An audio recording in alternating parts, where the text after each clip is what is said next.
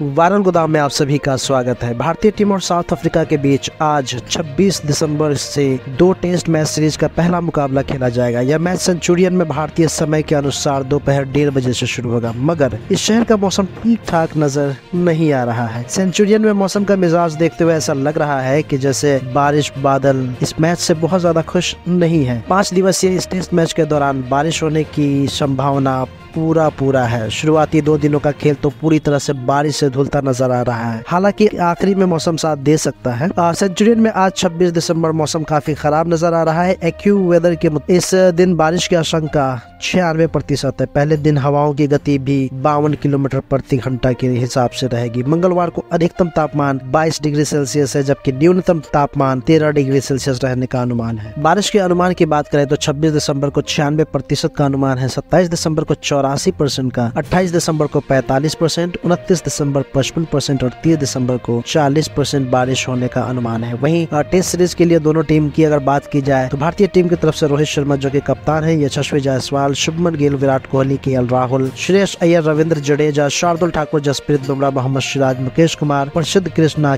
के एस भारत, अभिमन्यु ईश्वरन भारतीय टीम की तरफ़ से ये स्क्वाड रहेगा। 99 परसेंट चांस है बारिश की वजह से पूरी तरह प्रभावित ही रहेगा। मिलते हैं नए वीडियो में नए अपडेट के साथ। तब तक के लिए धन्यवाद।